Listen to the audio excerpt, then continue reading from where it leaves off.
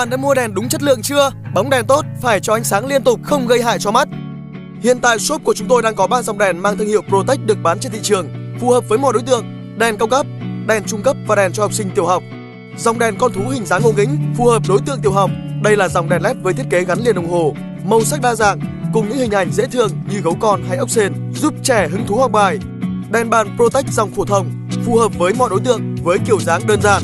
Đây là dòng đèn có thiết kế đa dạng, kiểu dáng bắt mắt, có thể dùng để học bài, đọc sách hay làm việc. Đèn bàn LED Protect dòng cao cấp với thiết kế sang trọng, hiện đại, có 3 cấp độ ánh sáng. Ánh sáng nhỏ nhất dùng làm đèn ngủ, cấp độ 2 dùng cho sinh hoạt chung và cấp độ 3 sáng nhất dùng cho học bài và làm việc. Với thiết kế cần đèn bọc cao su, đèn LED Protect dòng cao cấp có thể uốn, gập linh hoạt, phù hợp với nhiều mục đích khác nhau. Ngoài việc sử dụng cho cá nhân, dòng đèn LED Protect cao cấp còn rất phù hợp làm quà tặng hay để trang trí cho bàn làm việc, phòng ngủ.